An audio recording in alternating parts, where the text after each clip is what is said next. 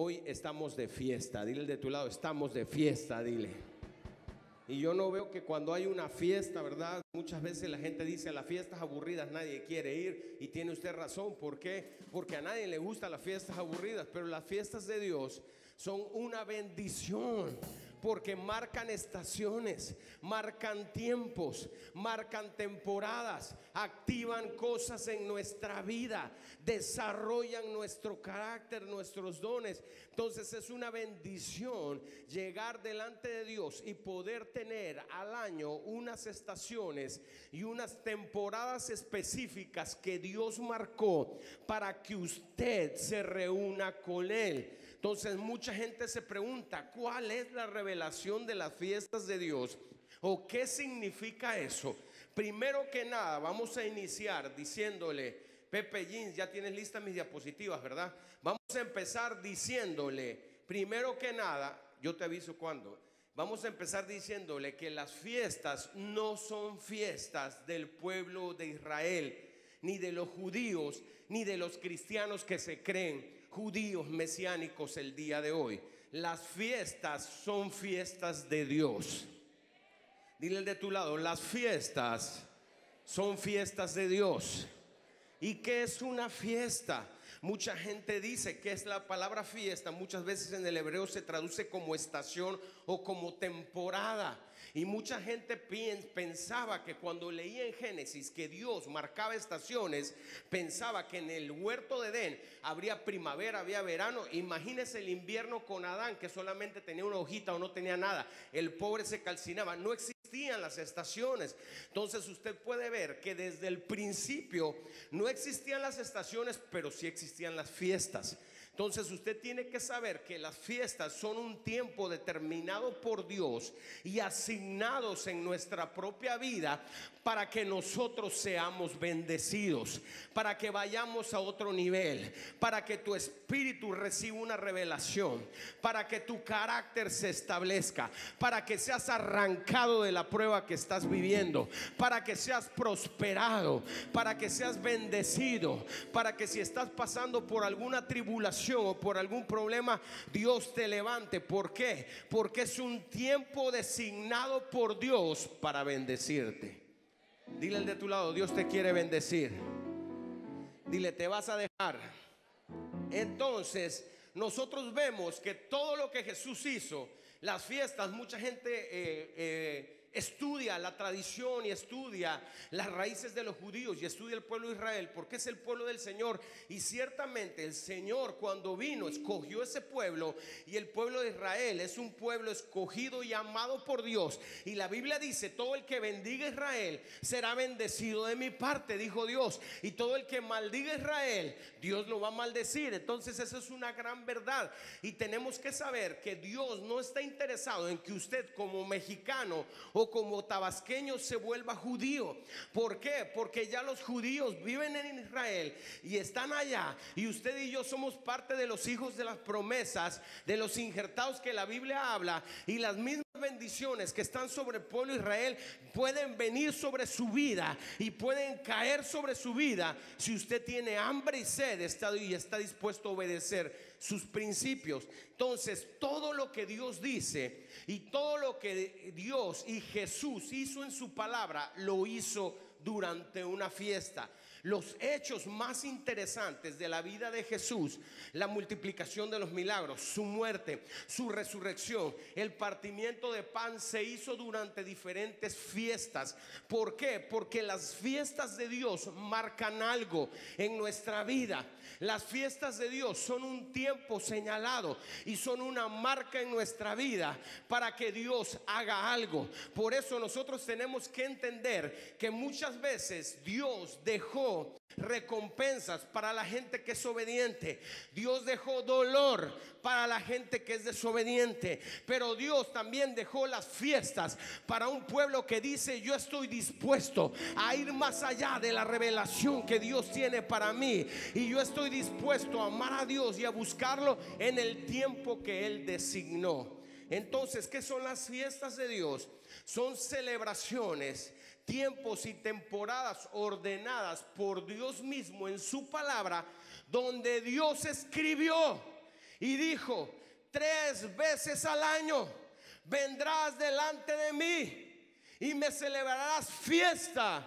¿Por qué? Porque Dios es un Dios de fiesta. Mucha gente piensa que cuando llegue al cielo se va a encontrar con un viejito encorvado, vestido de blanco, de su túnica de oro, con un palo, y te va a decir, a ver cómo te portaste, te portaste mal, te doy un garrotazo, te portaste bien, entra al reposo del Señor. Y se van a dar cuenta que Jesús no es ni un viejito, ni está encorvado, ni tiene garrote. Por el contrario, usted no, no puede contemplar y no puede saber cómo es Jesús, porque usted aún no ha tenido esa revelación y no ha ido a ese lugar.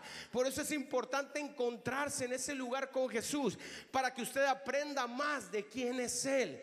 Y la Biblia nos enseña que las fiestas no son del pueblo de Israel, sino son de Dios. Y hoy estamos celebrando el inicio de la fiesta de los tabernáculos o las fiestas de Sukkot. ¿Cuántos de ustedes han oído este término, Sukkot?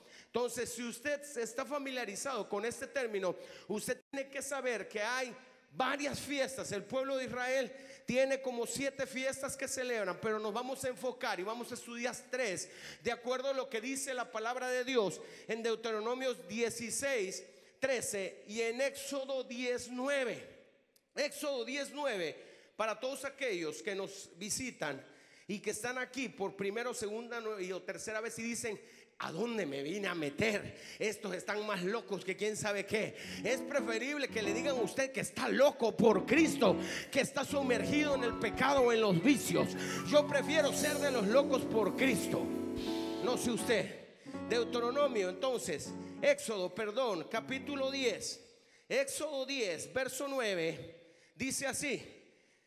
Éxodo 10, 9, dice Moisés respondió, hemos de ir con nuestros niños con nuestros viejos, con nuestros hijos, con nuestras hijas, con nuestras ovejas y con nuestras vacas. Hemos de ir porque es nuestra fiesta solemne. ¿Para quién?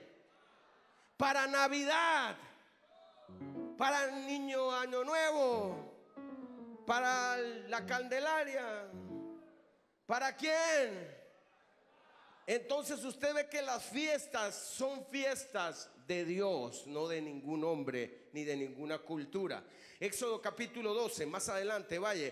Éxodo 12, 14. Y este día te será en memoria y lo celebrarás como fiesta solemne para Jehová durante vuestras generaciones. Lo harás solamente cuando llegues a la iglesia nueva generación y te acuerdes. Y cuando tengas ganas, pero si estás muy cansado, no lo hagas, quédate a descansar Dice, y lo harás por Jehová por vuestras generaciones, por estatuto perpetuo lo celebrarás. Más adelante, Éxodo 23, le estoy dando un tour de la Biblia porque luego dicen, ahí en esa iglesia ni la Biblia usan, quién sabe si lo que hablan es bíblico, así dicen los religiosos. Éxodo 23, 14, entonces dice, tres veces al año me celebrarás fiesta. Y este tiempo representa también no solo el año de expiación, sino también la entrada al lugar santísimo a ofrecer sacrificio. Y esto es conocido como el Yom Kippur, que ese es el día de la expiación y el día del perdón. Entonces, ¿cómo lo traemos hoy en día al siglo XXI? ¿Cómo lo traemos?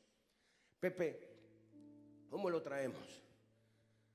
Nosotros, ahora, usted dice, bueno, ya ahora no hay sacerdotes con cascabeles, ya ahora no hay, tenemos que matar toros, no tenemos que matar chivos, no tenemos que matar ovejas aquí, no tenemos que llenar el altar de sangre como lo hacía anteriormente. Pero ahora los sacerdotes que oficiamos delante de Dios, número uno, somos todos los pastores que oficiamos aquí cada servicio para traerte la palabra despicada y para traerte buena palabra y que tú puedas vivir y tú puedas ser bendecido. Pero en casa, pero en casa, el sacerdote eres tu papá. El sacerdote eres tu hombre. Ahora, si usted dice, pastor, y gloria a Dios, pastor, y esas mujeres luchonas y guerreras, dirán los memes de Facebook, sí, sí, ahí vamos, permítame, que no tienen papá, no tienen hombre, no tienen marido, pero usted es una mujer sola, gloria a Dios, usted también lo puede hacer. ¿Y qué hacemos? hoy y cómo lo traemos hasta este tiempo, nosotros hacemos una celebración especial los viernes y la vamos a hacer mañana. Diga conmigo, mañana. Vamos a hacer nuestra cena en familia. Ponme la primera lámina, Pepe. Nuestra cena en familia que representa nuestro Yom Kippur. Ahora, en el Yom Kippur, el sacerdote declaraba que el pueblo de Israel todo el pueblo de Israel, sus pecados eran perdonados. Y era el día de expiación, y era el día de perdón y arrepentimiento. Pero ¿cómo lo traemos hacia nuestros días? Puede ser que usted en su familia esté enemistado con alguien. Puede ser que usted en su familia tenga algún roce con alguien. Puede ser que aún entre familia no nos llevemos entre alguien o no, nos hayamos dicho cosas hirientes, cosas que nos hirieron, que nos lastimaron. Puede ser que hayan relaciones rotas, puede ser que hayan problemas aún en la familia. Aprovechemos este tiempo que la Biblia habla de esta fiesta para reconciliarnos con nuestros hijos, para reconciliarnos con nuestra esposa, para reconciliarnos con algún familiar. Invite familiares, invite personas conocidas, invite a personas que usted considere cercanos, que usted pueda llevarles la palabra, hablar esta celebración. Tome un lugar para reunirse con sus hijos. Háblele de cómo Dios le ha bendecido, cómo Dios le ha prosperado, cómo Dios le ha sacado de lo malo. Dígale quién usted era y ahora quién usted es. Háblele de las bendiciones de Dios. Exprese su perdón, exprese el cariño y la bendición. Cada día de los siete días de la fiesta de Sukkot representa mil años. Es una semblanza de mil años. ¿Por qué? Porque hay siete milenios. El octavo día, dice la Biblia, el año 8000 serán los cielos nuevos y la tierra nueva. La fiesta de los tabernáculos se celebra después de la cosecha y después de presionar las uvas con los pies. Que esto representan dos cosas. Cuando Jesús apareció en, su ministerio, ya se me está acabando el tiempo. ¿Cuántos están aprendiendo?